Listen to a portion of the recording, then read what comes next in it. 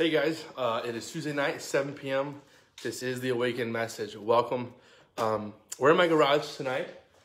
A beautiful scenery right there. I just wanted to be outside. It's a beautiful day, um, and with these past last couple days of tsunami rains, I just wanted to be outside instead of being stuck inside like I was. Um, hey guys, thanks for joining us. A few quick announcements. Um, check out htcfamily.org slash coronavirus for updates. Um, we put updates out there for the ministries, for things that are ha- happening and changing uh, with everything that's been going on. So seriously, this isn't, I'm not telling you to do it so we can get like page views, telling you to do it so you can understand the information that's going on and what we're going to be doing. Uh, other than that, oh, sorry. We also have a men's group starting um, as well. Go on the website, fill out a form. Uh, we'll get, get you plugged into that. That's an awesome way uh, to be um, involved with men. And also, we have a thing called micro campuses starting. Sorry, I forgot some announcements. Micro campuses. They're going to be essentially uh, services at each other's houses. Me, me and Pastor Kyle are reaching out to people that we believe have the gift of shepherding and that can shepherd in the congregation with us. And we're going to have them leading groups of 10 people um, in their homes. And you guys are going to be doing church together at home as well as as a corporate body as the, the laws and things unfold and change. So uh, be on the lookout for that. People are to start inviting you to groups. So be aware of what's happening. Um, with that, let's dive in. Let's dive in. I feel really weird about praying at the camera, so I'm not to open the prayer. I just know the Lord's to bless this time because He's faithful, and I hope that you're praying that uh, God is going to move in this time as I was before this. So we're to hop right in. Mark 2. I personally have been going through Mark in this season. Um, not, not, not the whole time. I've been going through Psalm for most of it, Psalms for most of it, and then Mark for the past week or two. I'm at Mark um, Mark seven now. I do I do a chapter about a day, or every other day I do a chapter. Uh, I guess I do every other day I do a chapter now, um, or every day I do half a chapter. Or if something strikes me, I pause there. I just meditate on that, and I'm going back a bit to Mark two and to verse fifteen. If you have a Bible, open it up. Mark two fifteen. So we're going to be reading tonight, and it says this. This is when Jesus calls Levi to be one of his disciples. Sorry for the background; it's like getting really white and getting crazy and I'm just gonna stand here. That seems to be better. Um, Mark 2, about now I look really red. Mark 2, verse 15. And as he real, as he reclined at table in his house, many tax collectors and sinners were reclining with Jesus and his disciples, for there were many who followed him. And the scribes of the Pharisees, when they saw that he was eating with sinners and tax collectors, said to his disciples, Why does he eat with, with tax collectors and sinners? And when Jesus heard it, he said to them, those who are well have no need of a physician, but those who are sick, I came, but those who are sick, I came not to call the righteous, but sinners. Sorry for my staggered reading there. I find this funny because I have, I personally have been caught saying something about somebody that I did not want them to um, hear, and I did not want them. Yeah, but sorry, one second, guys. Yeah. Where's the nails? The nails. The nails are inside in the drawer with the forks and stuff. Inside in what? With the forks and stuff. Oh. The hammer and nail both in there. Okay. Okay. Sweet. This is live stream. This is what happens. This is real life. You're in my life right now. Um, yeah. So I've been caught saying something about someone or or maybe a sly comment I shouldn't have, and the person's heard me before, and that was super awkward. I got rebuked. Got called out. Um, I had to repent. It was terrible. I wish it would never happen again to me or to anyone I know. It is the worst feeling on the planet to have someone overhear something you did not intend them to hear. And it's also the worst feeling on the planet to realize you shouldn't have been saying it in the first place and you're stupid for saying it. Now, I picture that with, the, with, with, with Jesus and these scribes. You know, they're, they're talking to the disciples. It's clear that the scribes are talking to the disciples and not to Jesus. It says it.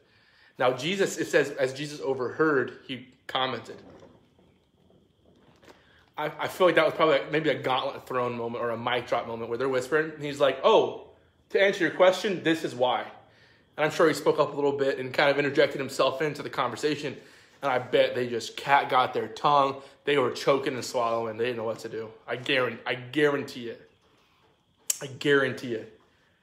those moments suck. Those moments suck so bad and and that's not my focus tonight. My focus isn't that they got caught saying something they shouldn't say. However, yeah, don't gossip. Keep your mouth shut. Don't gossip. It's not a good thing. Don't gossip with your mouth. Don't gossip with your mind. Don't think things about people that aren't true. Look at them as sons and daughters, okay? Don't gossip. That's another time. We're going to move on. What is the point of tonight? What am I saying? Jesus was revolutionary, right? He was revolutionary. He, he went against the grain, but he wasn't, I don't think it was supposed to be that way. I, I think he intended for his the Jews to, to follow the word correctly, to love the Lord, to recognize the Messiah. But sadly, they weren't going to, and he knew that. And so it was a salmon swimming upstream against the flow, against the current. And I feel like that's going to happen again here pretty soon. Um, I feel like it's so, people are walking by, it's so funny. They're looking at me, and I'm holding the book, and I'm like getting really hyped at a little screen here. That's hilarious. Um, I feel like it's going to happen again. I was praying the other day at church with everybody. I was like, Lord, at our, when we had corporate gathering, I was like, Lord, like shake us up. Do not let us be people who are afraid, who are afraid. Hey, Rosie, who are afraid to eat with sinners. And he showed me this picture of a church. He's building a church that's not afraid of getting their hands cut up by cleaning off the broken pots that are coming in. Scripture talks about us being jars of clay that he's filled with his glory. Well, guys, before Christ, we're broken. With Christ, we're made whole. So what he's saying, what I feel like God was saying to me was, Wes, I'm looking for Christians who aren't worried about what people are going to think about them, but are more worried about loving the lost and dealing with the lost than they are about dealing with the righteous and being judged. And that, that, that we have a mandate to clean up and put back together the broken jars so that God can fill them with his glory and make them jars of clay for a good purpose. That's what I see Jesus doing here. I see him dealing with the broken jars, the sinners, the tax collectors, like dealing with the broken jars. He's dealing with them and the, and the, religious people, okay? The people who are supposed to know better, the people who practice church, the people who, who are Christian, if you would. Not, not then, obviously, but in today's terms. The people who go to temple, who know the word, read the word, copy the word, supposed to live the word, those are the ones that go, What are you doing? And I, I guarantee Jesus had a little bit of a twist in his voice when he said, I came for the sick, not the healthy. And I'm sure maybe he kept his gaze a little bit longer and the locked eyes a little bit longer of like, what are you gonna say to that? I'm, I'm God. Like, we're done here. You've missed it all. And he says, I came not to call the righteous, but sinners. And I believe we get so caught up in our righteous bubble that we forget that you were a sinner. You were heading straight to hell. You had a bullet train ticket straight to the pit before Christ got a hold of you. I might offend people, but that's just the way it is. You didn't save you. You're not God. You're not that holy. You can't save yourself. You were saved by grace, yet we don't extend grace. We are so quick to judge sometimes. Guys, I have a challenge. Coming out of this quarantine, coming out of this season, coming out of these things that have totally changed our life, like Christ did with the, with the Jews, totally changed everything, flipped it on its head. I feel like that's what's happened with the church again. Guys, we've been flipped on our heads. Things are changed, things are going to be different. Don't be the scribes.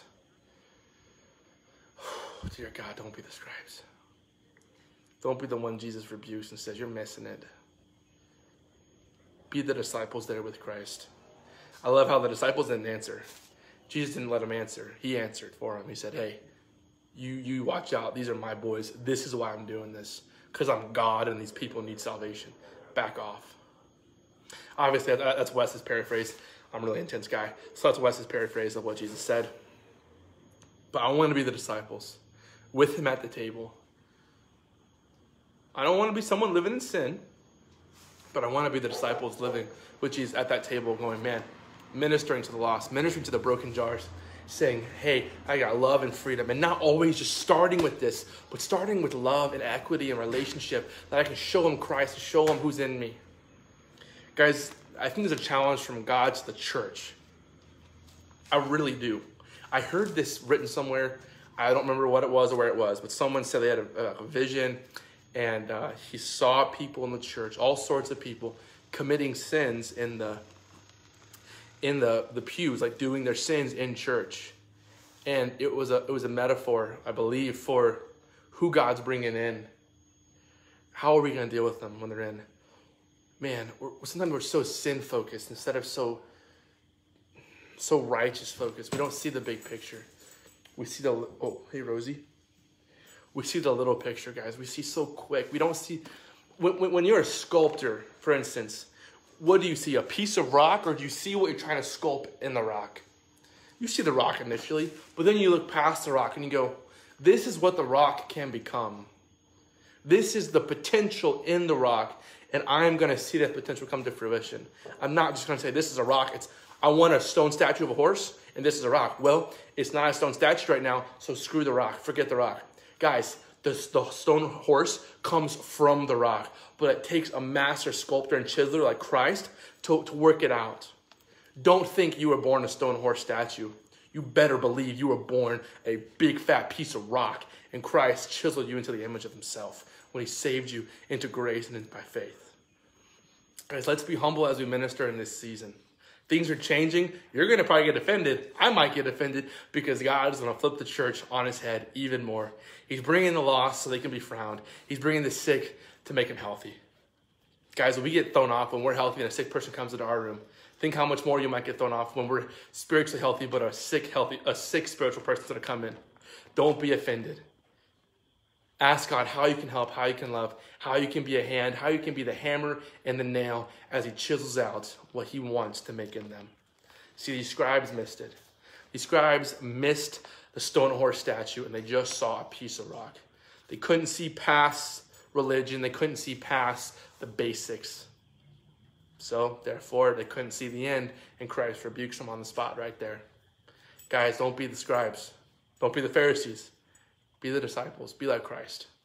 Be the one whose table is always open to eat with whoever needs to be eaten with. Love whoever needs to be loved. Don't let the judgment or condemnation of others dictate how you show Christ. Because when you answer to God, you don't want to give that answer. I know I loved you, Lord, but I wasn't like you because my friends, they wouldn't have approved. I challenge, maybe that's not someone who loves God. I think God's calling us to a real place. No more excuses. No more, well, this is where I'm at, God. We're done. We're done. Jesus, for instance, all the disciples, the ones that were fishing, John, okay, or, or Levi, for instance, the tax collector. Jesus recognized where they were and he called them out of it. Not just their job, but also their whole lifestyle, their whole habits. He didn't just say, Yes, I'm going to meet you here and we're going to work here. God was, Jesus was like ready. He had a plan. He was expectant, man. In three years, he's to die and be crucified. Man, he was, let's, let, us go, guys. Let's get it. Let's take Christ at his word, trust who he is, and let's be the church and go find the lost and bring them into the body of Christ so they can experience the fullness of heaven now and eternity to come. Guys, the church, it, it, it can't fly anymore. Well, this is just where I'm at, going slow, moving slow, poke space, be a snail's pace. What we have to do is go, God, this is where I'm at. I see where you want me to be. Let's get there. Guys, have the stone horse in mind, or forever you're only just going to see a piece of rock. Do it with others and do it with yourself. Guys, Christ wants to chisel you to his image, just like everybody else. Scripture says, the will of the Father is that none should perish, but all should come to the knowledge of him. Guys, it's big. Guys, it's serious. And it's about time we stop saying we see a bunch of rocks and we start saying we see a bunch of potential sons and daughters, even with ourselves. You're a sinner saved by grace, but now you're a saint redeemed. Be done with the mindset of depravity and slavery to your former self. You are free in Christ. Let's live like it. Free to love, not free to judge. Let's be Christ. Have a good night, guys. I'll see you tomorrow at 7 a.m. Check in tonight at 9 p.m. for Pastor Kim's nightly devotional. Can't wait to see you guys. Um, it's been good. It's been a good time. God's been speaking and changing and challenging, and man, He's been chiseling off rock chunks that shouldn't be there in my life, and He's making be more into the image of Him. Challenge you guys don't be offendable, be moldable.